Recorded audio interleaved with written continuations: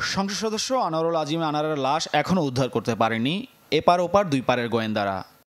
এরই মধ্যে লাশ খুঁজতে কলকাতার বিভিন্ন স্থানে অভিযান চালাচ্ছে সিআইডি। এ ঘটনায় অভিযুক্ত কষায় জিহাদকে নিয়ে এর মধ্যে তিন দফা অভিযানে নামেন তারা। এতে দৃশ্যমান অগ্রগতি নেই।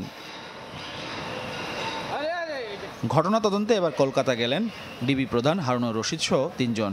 দলে রয়েছেন ওয়ারি বিভাগের ডিসি মোহাম্মদ আব্দুল আহাদ ও এডিসি শাহিদুর রহমান। শাহজালাল আন্তর্জাতিক বিমানবন্দরে সাংবাদিকদের গোয়েন্দা প্রধান জানান সাংসদ আজিমের হত্যার রহস্য উন্মোচনে তারা কলকাতায় যাচ্ছেন।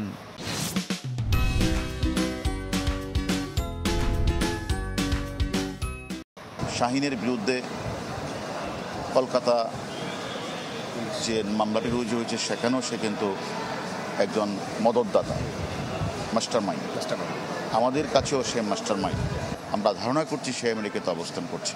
সে একজন মানে বড় রকমের অপরাধী। তার বিরুদ্ধে আমি মনে করি আমরা ইন্টারপোলের মাধ্যমে আইনের আয়তা আইনের আওতা আনার চেষ্টা করব।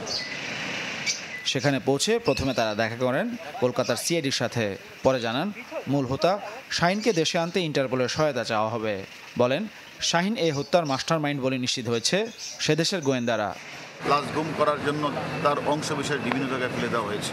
এখন আমাদের মূল কাজটা হচ্ছে ক্রিমিনাল প্রসিডিউর অনুযায়ী অপরাধের যেখান থেকে শুরু হয় এবং সেখান শেষ হয়, সেই হিসাবে তদন্তকারী দলকে দুটি স্থানেই পরিদর্শন করতে হয়। আমরা মানে একজন গুরুত্বপূর্ণ আসামি যে এক্সিকিউশনের কাজটি করেছেন পশ্চিমবাংলার কমিউনিস্ট পার্টির নেতা শিমুল বিশ্বাস, যেখানে সে এখানে আমনুল্লাহ নাম করে এখানে এসেছেন। তার কাছে আমরা অনেক তথ্য পেয়েছি। পরে বিকেলে ঘটনা তদন্তে কলকাতার বিভিন্ন স্থানে যান ডিবির প্রতিনিধি দল। Mahfuz Kamal channel twenty Dhaka